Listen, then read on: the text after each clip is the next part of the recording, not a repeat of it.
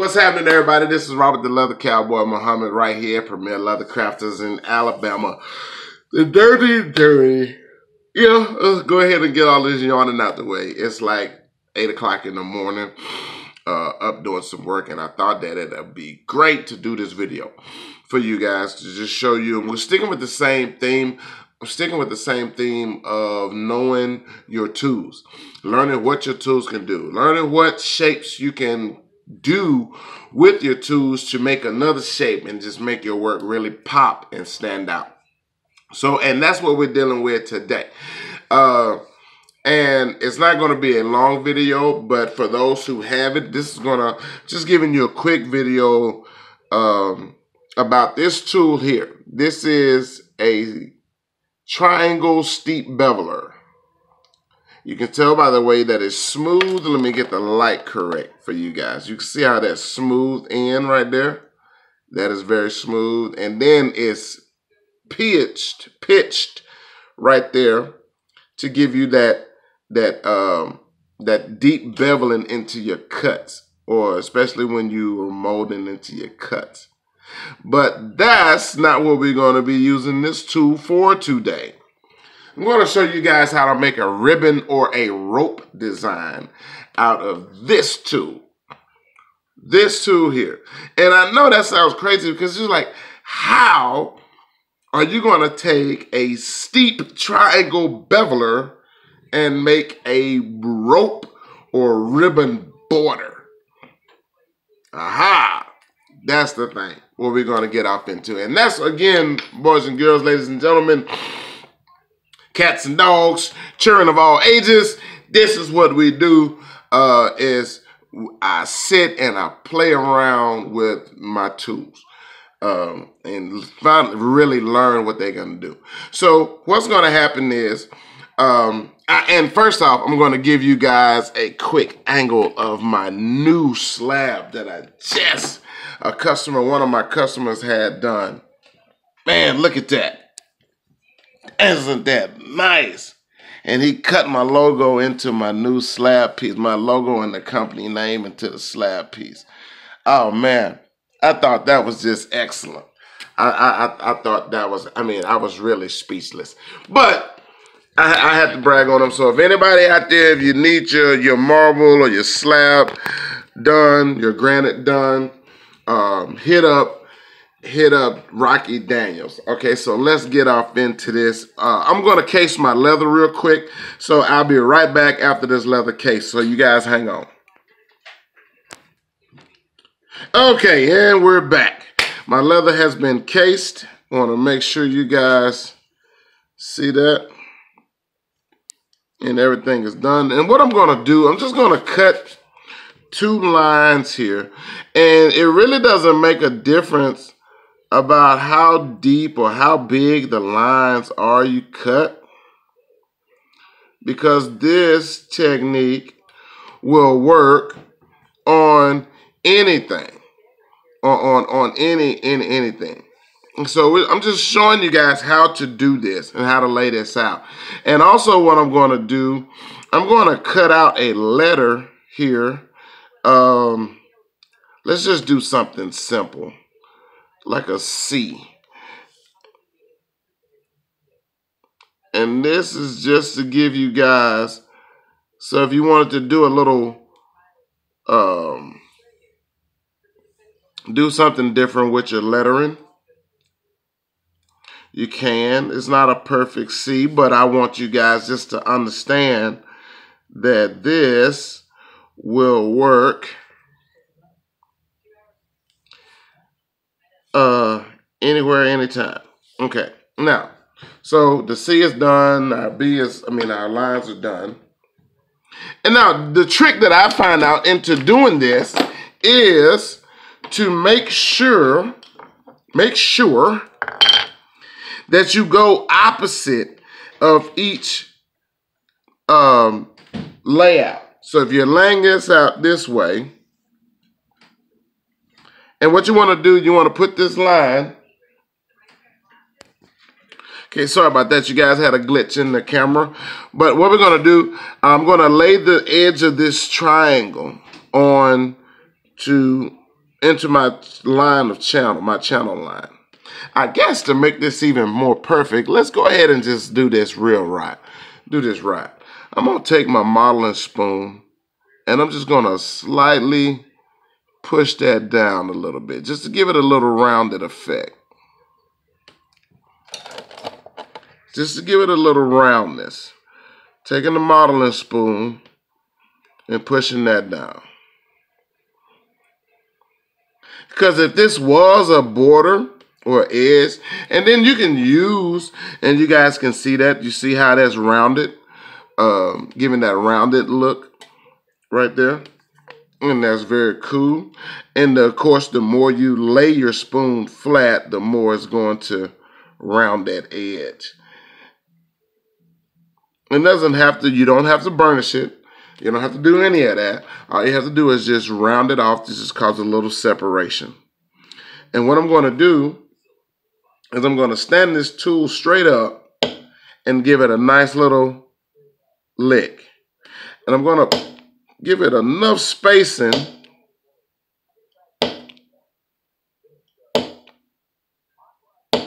just to go down the channel of my side. And you can see that. You guys can see that, correct? I'm hoping you can see that. Yeah, I'm sure you can. Same thing as I did on this one here. And we're just going to stand it straight up just to get that little pitch. Now, I'm going to turn this around. And now, the thing, the, here's the trick. I want to match up my triangle with the bottom part of this one. And I want to give it just a little bit of leather in between each one. And I'm going to show you guys this. And this is what's going to cause the rope or the twist.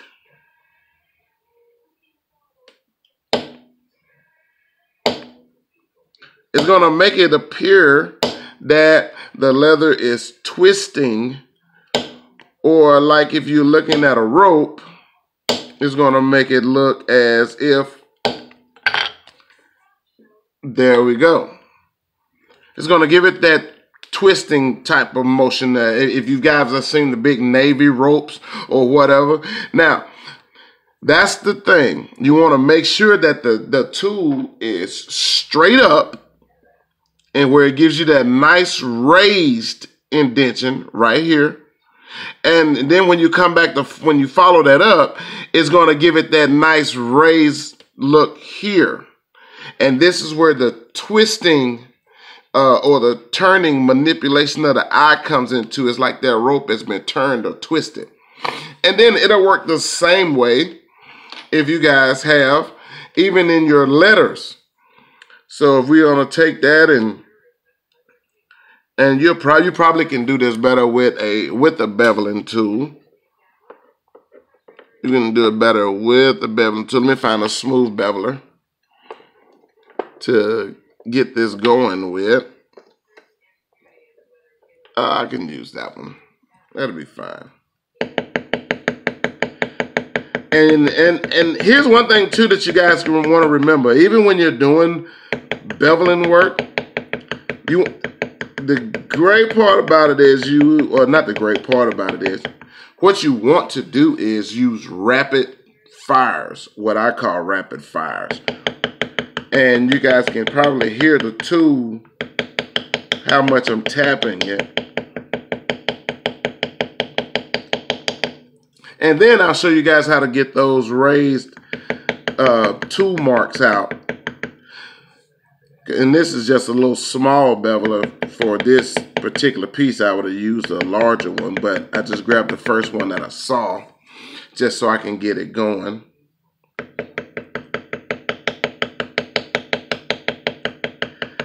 So if you have small tools and then you're finding yourself with, hey man, I'm getting a lot of tool marks into my leather. I'm going to show you guys how to get rid of those in just a second after I tool this. Now, this is the key one, one of the key parts.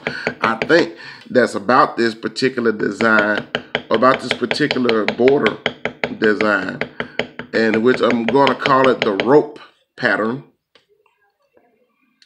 And, it's not uh, another situation to where it's it's not my particular style, not my particular design. Uh, this has been around for a long time in the leather world uh, before they actually started making uh, rope tools. And I do have a rope tool if you guys want to know that. And let me grab it right quick. This is one rope tool. And again, I can't remember where I bought this. Oh, Tandy. This is a craft tool from Tandy. And it's the R956. R956. And this is a rope tool. And just to give you guys a little quick.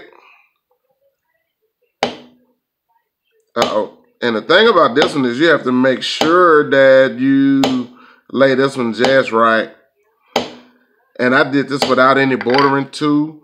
But if, if you can put a put you a, a, a line border there, and you can turn this certain ways to where it will copy and mimic a rope haven't used this tool much, so I really haven't had a chance to master that one like I would love to. But, um, and going to do the same thing with this tool as we did with the lines.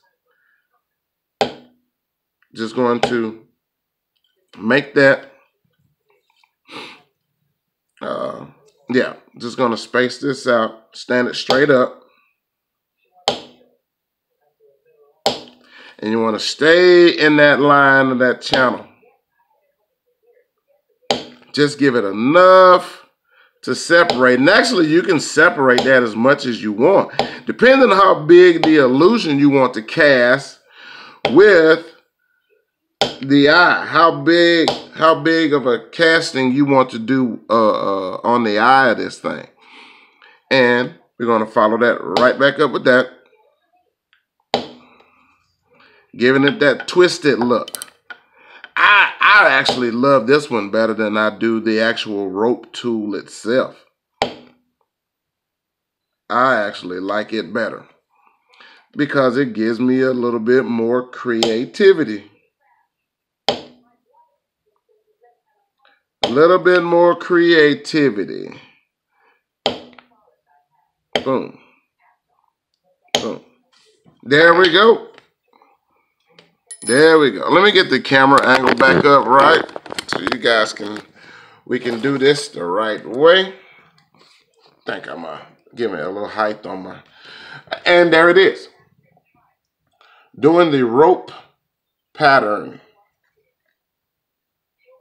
The rope pattern to give it that twisted look and it even works inside of your letters too. So hey, if you want to give your letters that, that little twisted look. Now, if you guys are using a stencil or whatever out there to do your row patterns, I mean, or, or do your letters, or if you've come up with a uh, downloaded pattern, whatever, give your letters and, and your borders a little bit of character. Give it a little, switch the game up a little bit and then we can you can go off into a whole lot of different other things and different angles and stuff like that. So um, that's one using the the the the, the steep triangle beveler, smooth beveler to uh, do a rope design or a rope border. And again, this tool is the F941. F941. Right, I'm gonna sign off on you guys. It's uh 14, we're at the 14 minute mark. Like I told you before, this is not a long video, but I'll come right back because I have some more tools that just come in and I'm gonna be showing you some other different prints and layouts.